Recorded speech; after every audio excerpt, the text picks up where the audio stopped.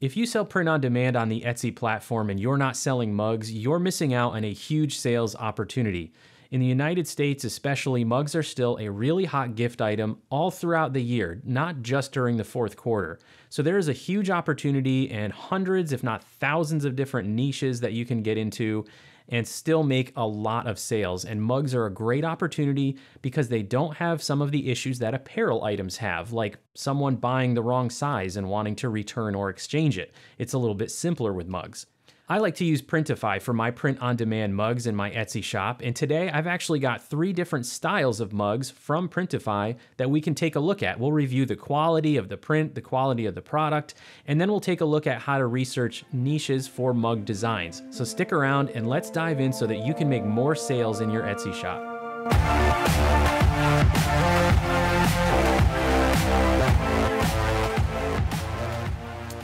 All right, so we're gonna start things off by reviewing three different styles of mugs that you can get through Printify, and these are all from the print provider District Photo on Printify. Now, there are a variety of other providers on Printify that provide the same types of mugs as well as some different ones, and we're gonna look at that in just a moment.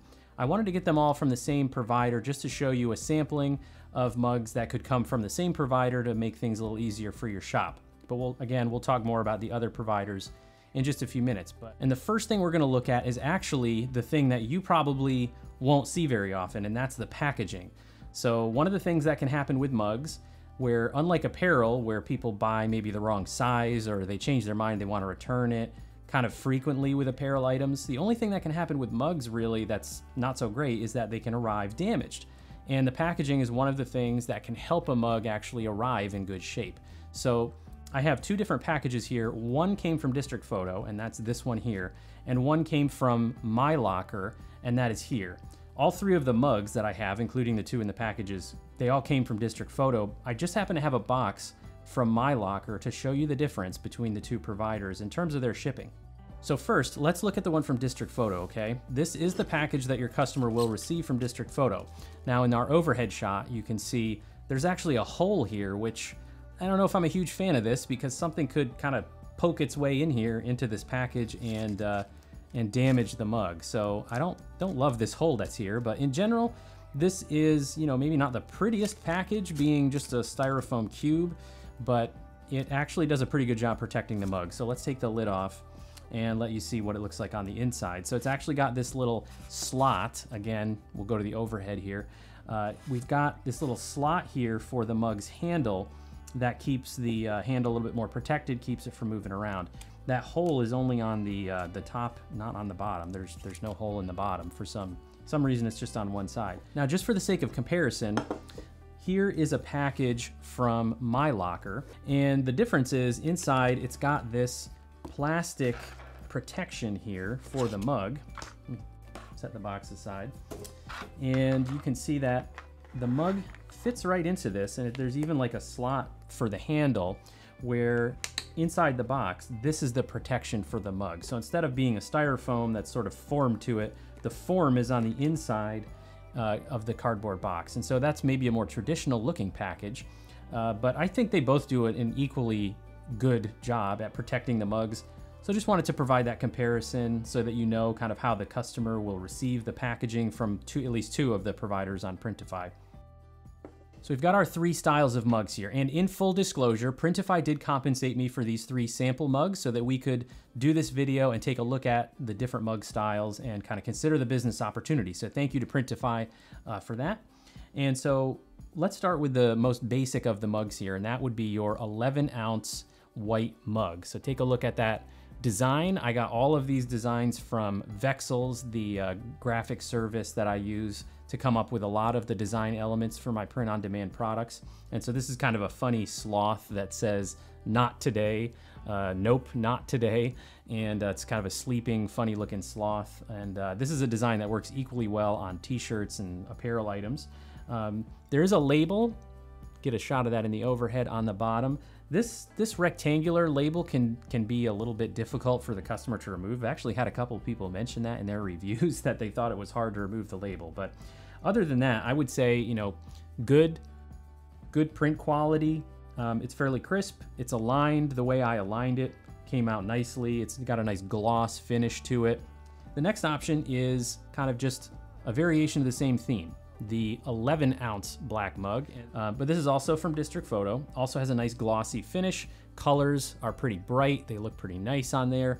And uh, this is yet another kind of funny work hard and be kind. Well, not funny, but positive message type of a design that I picked up from Vexels to apply to this sample. And just overall, I, I would say quality wise, it's on exact same level as the white mug. You know, really no surprises there. Comes out looking nice. And uh, this is a great way um, for you to offer your designs that feature lighter uh, colors on a mug. The last kind of mug we're gonna take a look at today is a stainless steel enamel camp style mug. And in the last few years, these have gotten pretty popular as gift items, especially in the United States. They're popular because they kind of are all purpose mugs. They're very sturdy. They're very solid. They don't break. And by the way, that's a really nice feature about them as far as uh, customer service issues. These ceramic guys, even with good packaging, they they can break, right? So the customer could receive one with a the handle broken or a crack or a chip. These steel ones, they just don't break. So you're not going to get as many customer service issues, at least not related to damage with these.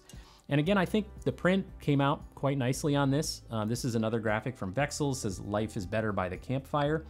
Exactly the kind of design that sells well on these style mugs. You know, kind of an outdoorsy thing you might use around the campfire. I think all of these are great options for any Etsy seller doing print on demand. My favorite, of course, is the white ceramic 11 ounce mug. It's just a classic size. It's very popular. District Photo offers a fantastic price that's really competitive for you to offer on Etsy. But all of these are great, and I have all of these styles in my Etsy shop now. There are some other choices, so let's jump over to the Printify catalog, take a look at those choices, and then we're gonna talk about pricing strategies as well as some design strategies for the types of designs that work really well on mugs. So let's dive into that now. All right, before we jump into the Printify catalog and we talk strategies and prices, just want to point out one thing about the sales opportunity here with mugs. And we're going to look at some search volumes and things like that later, but I thought it would help be helpful just to talk about what did this translate into for my shop last year. So in 2021, I sold 784 mugs. They weren't all the exact same 11 ounce white mug. There was a variety in there of different sizes and shapes, but a lot of them were that 11 ounce uh, white mug. So that was about 20% of my total sales for the year. And my mug listings make up about 19% of my total listings. So what that means is that, you know, that 19% of my listings made up equally or slightly better than their percentage of total sales. So it's absolutely worth my time in making those mug listings. And in fact, the profit margin that I'm getting on the 11 ounce white mugs is 39% when they're regular price and 34% when I put them on sale for 10% off. This is a higher profit margin than my apparel items in my shop, which average somewhere in the low 20s for profit margin so that I can keep the prices competitive. So, what this means is those mug sales were actually more valuable to me than the other 80% of sales that came from my shop because the other 80% were on items that have a lower profit margin and the 20% that came from my mug sales had a higher profit margin. All right, we're in our Printify catalog and if you go to the catalog in the top menu and you go over to the home and living section, look for the mugs. And once you come to that section, you may want to filter it based on where you need to have your orders fulfilled by using the fulfillment locations filter. I've selected the United States, so we're only looking at mugs that are available from providers in the United States. A quick disclaimer also, any prices that you see here are going to be Printify Premium prices because I have a Printify Premium account. So they may differ slightly if you don't have a Printify Premium account. And as always, prices are subject to change. In the last year, especially, prices have changed quite a bit on print on demand products. So just keep that in mind. You know, there's no guarantee that these prices won't change tomorrow. So we're gonna we're just gonna look at a couple examples to give you an idea of the sort of profit margin and the costs involved. So we're gonna stick to some of the examples that we saw in the products that we took a look at a little bit earlier. So first we're gonna look for a plain white ounce 11 mug in the catalog here. Now we have a few different choices. And the way these listings work is a little different than on the apparel listings where you've got a product and then like dozens, you know, on Printify, not dozens, but you know, like 10, 12 uh, print providers that all are offering the same product at different prices. It's a little bit different with mugs. Some of these are listed out separately by provider, and there are a couple that are grouped together. For example, This white 11 ounce mug is from provider Colorway, and their cost right now is $4.02. But then if we scroll down, you'll see that there are other options for 11 ounce white mugs. And here is one. It says it's three print providers, but two of them are in other countries. So when I look at it, it's going to show me district photo only because that's the one in the United States. This happens to be the supplier that I use currently uh, for my 11 ounce white mugs. And their cost currently with a premium account is $3.56 and their shipping cost is $4.79. Now, if you click on more details on any uh, catalog item in the Printify catalog, you'll see the full explanation of, uh, of pricing for all sizes. And this one is only 11 ounce, so there's only one price. But then there's a shipping tab that shows you the breakdown of shipping cost based on where your order's going. And this is really good information because this is what you need to know to properly set up your shipping profile when you're figuring out how much to charge for shipping. If you do sell internationally, like if I wanted to uh, ship, you know, a mug from District Photo to somebody um, in another country like Canada, I would need to know exactly what that shipping cost is so I can build that into my shipping profile. But if you plan to use a mug provider that is in Canada, like Duplium, who currently have 11 ounce and 15 ounce white mugs in the Printify catalog, uh, then you would instead want to go and look at their listing for their mugs and base your uh, pricing for Canada shipping off of their shipping cost not district photo. So make sure that you're paying attention to who you plan to use for those international orders if you are doing that. If you're just going to be offering your listing um, domestically to um, to your country, then you only need to worry about the shipping cost for that country, and then basically don't include any other country in your shipping profile in Etsy. That's what controls uh, who sees that listing. Okay, so let's do a real quick example of calculating the profit margin and a price for this. So we have three, 356 and 479 cost. I like to use a calculator like the Alura um, Etsy fee calculator. Sales Samurai, if you use Sales Samurai for your keyword research, also has a pricing calculator built in. But because you have to have a paid account with Sales Samurai to use that, I'm going to use the Alura one because it is free. And there's a link to it in the description if you want to go check it out. No charge. You don't even have to have an account with Alura um, to use this Etsy fee calculator. And so, for example, on these mugs, uh, we have a cost of 835 which I put over here in the cost uh, field.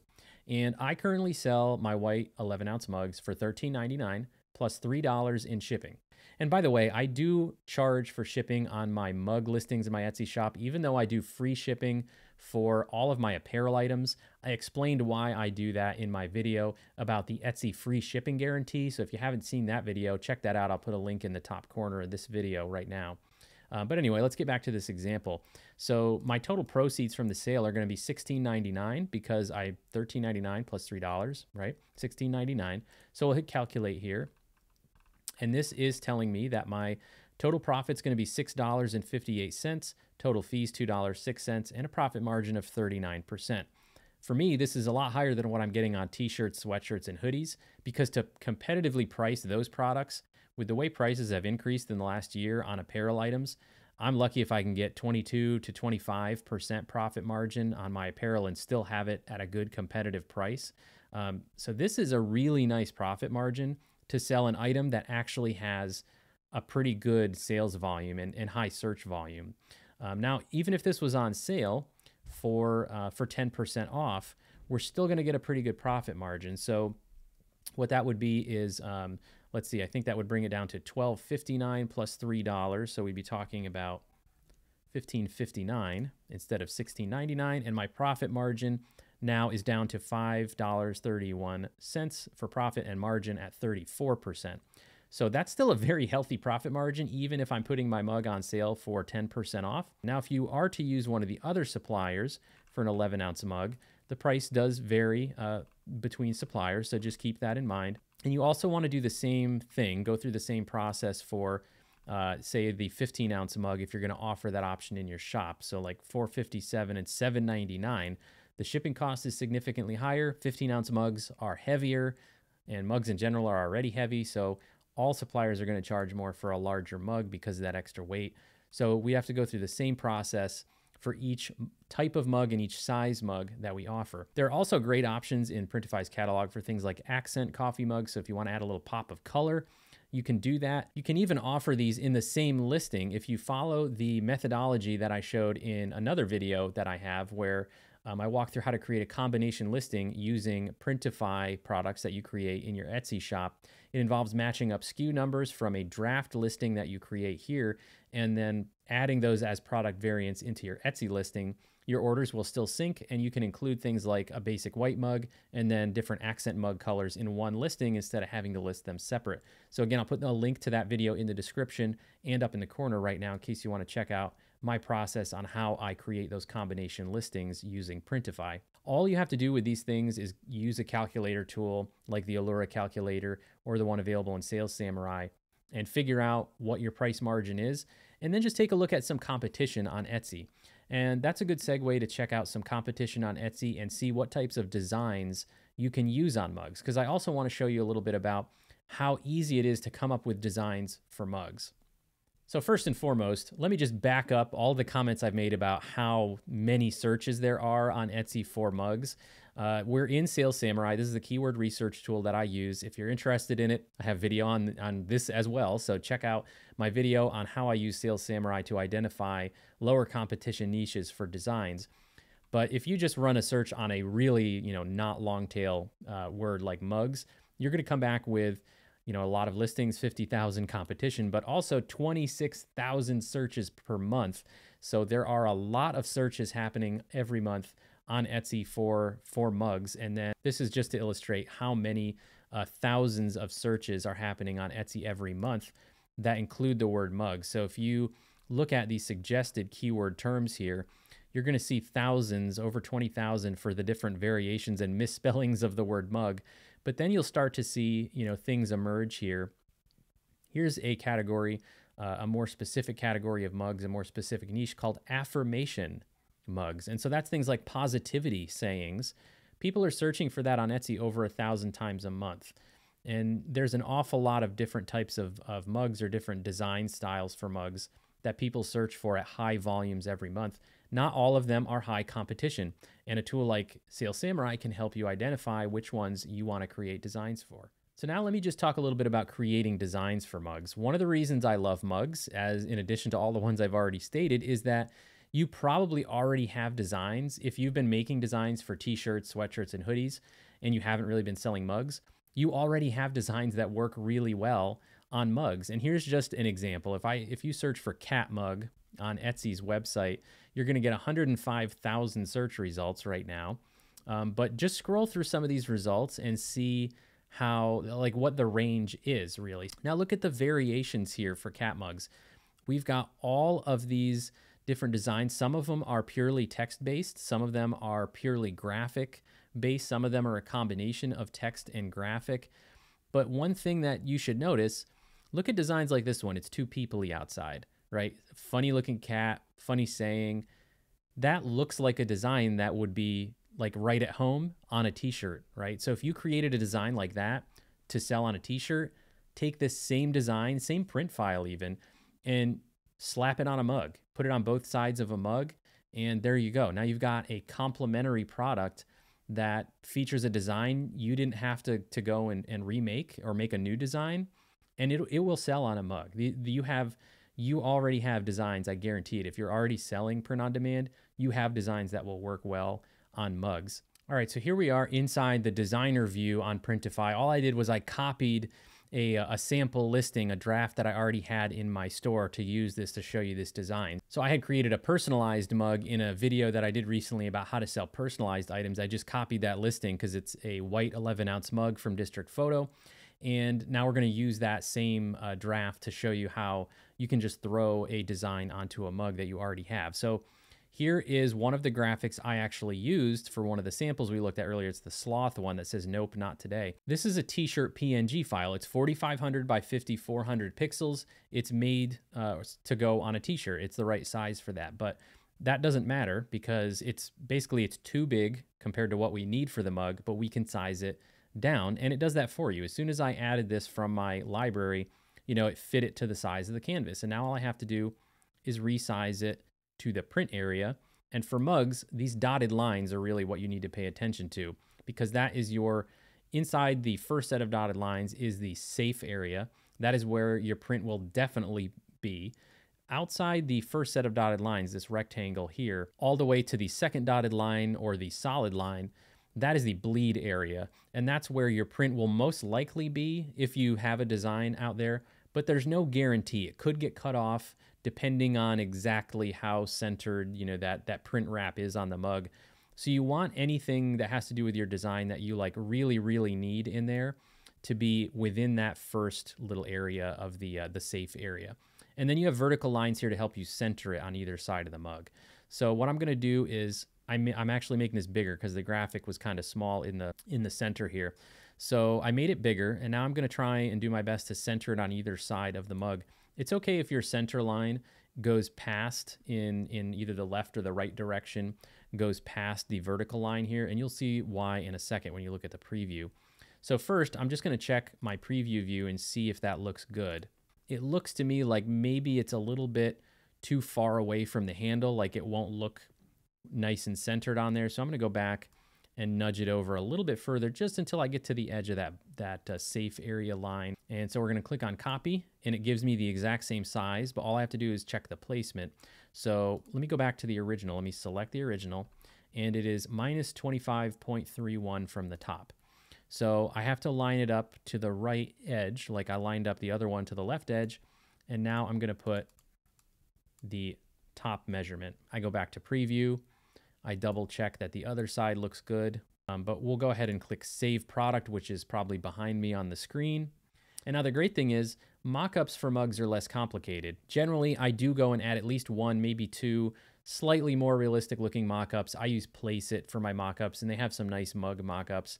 Um, but I don't have to go in and create, you know, like four or five different mockups um, and then delete the ones that Printify sent over because these are good representations of the final product. I'm, I probably would delete the Halloween one if it's, if it's not a Halloween themed mug. I'm not spending as much time on mockups as I am with apparel items, so there's another benefit. All right, so that's it for this video. Thank you to Printify for the sample mugs that we took a look at earlier, and I hope that if you're selling print on demand in your Etsy shop and you haven't been selling mugs, I hope that this information was enough to convince you that there is a big business opportunity when it comes to selling print on demand mugs. So I hope this was helpful for you. Let me know in the comments if there's anything about selling mugs that you have questions about or if this uh, video was helpful for you. And if you don't mind, take a second, give me a like and uh, subscribe on the video because it helps the YouTube algorithm recognize uh, that this information is helpful and get it out in front of more people. I would really appreciate that. Thanks, everybody, and we'll see you in the next video. Don't forget to check out podinsights.net for information about our podcast and posts with lots of different resources for print on demand selling. Thanks, everybody. See you next time.